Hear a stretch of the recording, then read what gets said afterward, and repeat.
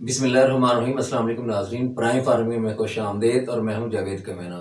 सबसे पहले दरख्वास्त करनी थी कि जिन दोस्तों ने अभी तक चैनल को सब्सक्राइब नहीं किया, वो सब्सक्राइब कर दें। आज हम बात करेंगे कि जैतून की फ़ार्मिंग कैसे की जा सकती है।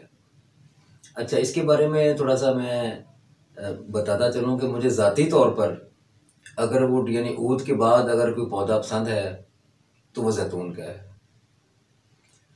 जहाँ पे अगरवुड ऊद की जो है वो इस्लामी लिहाज से एक अहमियत है, वहाँ पे जैतून एक ऐसा पौधा है जिसकी अल्लाह करीम ने कुरान पाक के अंदर कसम उठाई हुई है। इसलिए मुझे ये इंतहाई पसंद है कि इसकी काश्त लाजमी करनी चाहिए। मैं बताऊँगा कि इसके लिए कौन कौन सा क्लाइमेट बेहतर है, किन इलाकों में लग सकता है, इसका टेम्परेचर कितना होना चाहिए, और इसको लगाने का तरीका क्या है, कितने फासले पे लगाना है और एक एकड़ के अंदर ये कितने पौधे लगेंगे? तो आइए शुरू करते हैं। जैतून जो है वो पथरीली ज़मीन के अलावा जो ढलवान वाली होती है, जैसे पोटोहार है, वहाँ पे इंतहाई कामयाब है और इसका जो पीएच लेवल है, वो साढ़े पाँच से साढ़े आठ के दरमियान होना चाहिए। अच्छा हम थोड़ी सी एक टेक्निकल गलती करते हैं कि इसको जैसे ही नर्सरी से लिया, साथ ही फौरी लगा देते हैं। तो इसको लगाने के एक पूरा तरीक़ेकार है और थोड़ा सा ये भी डिस्कस करेंगे कि किस एरिया के लिए कौन सी वैरायटी मौजू रहेगी। सेम थोर का इलाका इसके लिए मौजू बिल्कुल नहीं है और ख़ास तौर पर वहाँ जहाँ पानी का ड्रेनेज नहीं है, यानी पानी इकट्ठा हो जाता हो ये इलाका, ये वैसी ज़मीन जो सेम तौर वाली है वो इसके लिए हरगज़ मौजू नहीं है। ये 18 फुट बाई 18 के फासले पे लगाया जाता है। यानी कतार से कतार भी अठारह फीट और पौधे से पौधा भी अठारह फुट। और इस तरह, इस सीक्वेंस के साथ ही एक एकड़ के अंदर 135 प्लांट्स लगेंगे, यानी 135 प्लांट्स एक एकड़ में ये लगेंगे। अच्छा इसको लगाने के मौसम जो हैं वो दो हैं। फरवरी, मार्च में लगा सकते हैं और अगस्त से लेके सितंबर के दरमियान इसको लगा सकते हैं। अच्छा अब लगाने का थोड़ा सा बुनियादी तरीका जो है अगर वो नोट कर लें या समझ लें तो बेहतर है कि इसको दो माह पहले इसकी ज़मीन की तैयारी की जाती है। यानी आपने जिस ज़मीन के अंदर लगाना है, एकड़ में लगाना है या कनाल में लगाना है तो आपको तीन फिट बाई तीन फिट का गड़ा खोदना पड़ेगा। उसके बाद जो उस गड़े के अंदर से मट्टी निकलेगी, उसके अंदर, यानी उसी ज़मीन की मट्टी में से मट्टी लेके दो हिस्से भल, जो नहरी भल होती है, वो मिक्स करके उन गड़ों को फिलअप कर दें। उसके बाद इसको तीन से चार पानी लगाने हैं आपने। और फिर जाके जब इसका मौसम आएगा, उस वक्त इसके अंदर पौधा लगाना होता है। यानी दो में पहले ये ज़मीन की तैयारी करनी लाजमी है, अगर आपने इसकी अच्छी प्रोडक्शन लेनी है तो।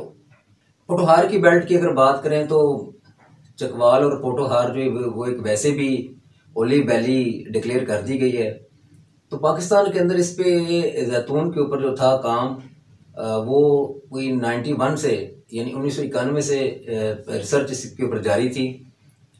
लेकिन 2010 के ऊपर आकर इस इस पे बड़ा तेज़ी के साथ काम किया गया और मौजूदा हुकूमत जो है, इसने भी के पी के के अंदर काफ़ी इसकी जैतून की फ़ार्मिंग कराई है।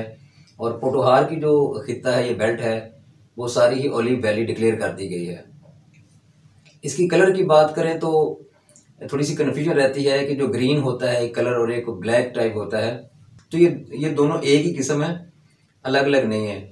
जो राह होता है, जो कच्चा जैतून होता है, उसका रंग ग्रीन होता है और जो मैच्योर हो जाता है, पक जाता है तो आहिस्ता आहिस्ता ब्लैकिश होना शुरू हो जाता है। यानी उसकी जो रंगत है, वो तब्दील हो जाती है। समझ लें कि वो आपका जैतून जो है, वो पक गया हुआ है। पोटोहार के लिए बारी जैतून वन, बारी जैतून टू और पेंडोलिनो, ये वैरायटीज़ इंतहाई कामयाब हैं। इसके अलावा इसकी और भी वैरायटीज़ हैं। कोरोनिकी है और गैमलिक है। तो ये वाहद जैतून है। मतलब है कि जो जनूबी पंजाब के अंदर भी काश्त हो रहा है, गिलगित बल्तिस्तान के अंदर भी हो रहा है, खैबर पख्तूनखा के अंदर भी हो रहा है और कश्मीर के अंदर भी काश्त हो रहा है। यानी कि हर इलाके के अंदर लग सकता है। अच्छा जैतून को अल्लाह ताला ने एक ऐसी सलाहियत दी हुई है कुदरती तौर पे कि खुश्क साली के अंदर भी ये बगैर पानी के सर्वाइव कर सकता है। लेकिन अनिशली इसको पानी लाजमी देना पड़ता है। अगर छोटा पौधा है तो तीन से चार दिन के बाद उसको पानी दें और अगर बड़ा पौधा है तो दस से पंद्रह दिन के बाद उसको पानी एक दफ़ा लाजमी देना पड़ता है। लेकिन with the pace of time इसको पानी ये कम लेता है। और गर्म इलाकों के अंदर, जो खुश्क इलाके वहाँ पे भी बड़ा कामयाबी के साथ ये ग्रोथ करता है। ड्रिप इरीगेशन भी एक बड़ा कामयाब तरीका है। इसको पानी मुहैया करने का ड्रिप इरीगेशन के साथ भी इसको मैनेज किया जा सकता है। जो नॉर्मली है, वो चार से पाँच साल के बाद ये पैदावार शुरू कर देता है। लेकिन जो अच्छी पैदावार है, जिसे हम समझते हैं कि ये बहुत शानदार पैदावार है वो ये सात से आठ साल के बाद शुरू करता है। और उस वक्त इसका जो फल शुरू होता है, वो पंद्रह से बीस के के दरमियान शुरू होता है। इसका फल उतरता है। इसकी हार्वेस्टिंग जो करने का तरीका है, वो यही है कि आप प्लास्टिक की टोकरियाँ लेके तो उसके अंदर उसको तोड़ के रखते जाएँ। अच्छा इसमें दो तरीके हैं। अगर आपने आयल निकालना है या इसका अचार डालना है। लोग आयल को प्रेफर करते हैं तो गवर्नमेंट ने भी सहूलत दी हुई है चकवाल के अंदर जो उनका बारानी इंस्टीट्यूट है, वहाँ पे फार्मर्स को कि वो ऑयल निकलवा सकते हैं एक्सट्रैक्ट करवा सकते हैं। इसका तरीका यही कि जब आप इसकी हार्वेस्टिंग करें, उसके चंद घंटे के बाद इसके अंदर से अगर ऑयल निकलवाएँगे या एक्सट्रैक्ट कर लेंगे ऑयल तो उसकी जो है वो पैदावार भी अच्छी होगी और ऑयल की क्वालिटी इंतहाई अच्छी होगी। एक चीज़ का खास ख्याल रखना ज़रूरी है कि समटाइम्स ऐसा होता है कि जब वो ग्रीन हालत में होता है जो कच्चा भी होता है तो लोग उसको भी कोशिश करते हैं कि इसको, इसका ऑयल एक्सट्रैक्ट किया जाए। तो उसकी वो क्वालिटी नहीं होती, लिहाजा इसको जब ये ब्लैकिश इसका कलर हो जाए तो उस वक्त जब मैच्योर हो जाता है, जब पक जाता है, अगर इसका ऑयल उस वक्त निकाला जाए तो वो सबसे बेहतर है। पक्के फल में से इसका जो ऑयल है, वो 12 परसेंट तक एक्सट्रैक्ट किया जा सकता है। मैक्सिमम जो लिमिट है, वो 12 परसेंट है इसकी। मैं समझता हूँ कि इन वराइटीज़ को अगर आपने लेना है तो बेस्ट मार्केट जो है वो चकवाल है, ये किसी जगह से भी लें तो ये वराइटीज़ जो आपके एरिया के मुताबिक हों, जो वहाँ सूट करती हों, वो वराइटीज़ लें तो ज़्यादा बेहतर है। क्योंकि बहुत सारे नर्सरी वाले जो हैं, वो जंगली जैतून भी बेच देते हैं, जिसकी वजह से वो चार, पाँच साल के बाद उसकी ना ग्रोथ ज़्यादा होती है, ना उसको फल लगता है तो फिर ज़िम्मेदार किसान भाई जो खासे परेशान होते हैं।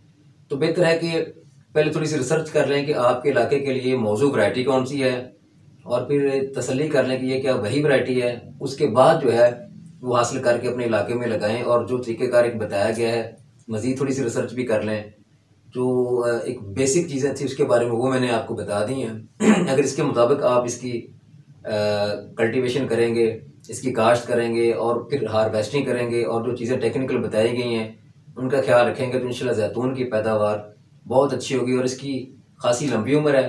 और इनशाला ये एक अच्छा ज़र मुबादला पाकिस्तान के लिए इकट्ठा हो सकता है।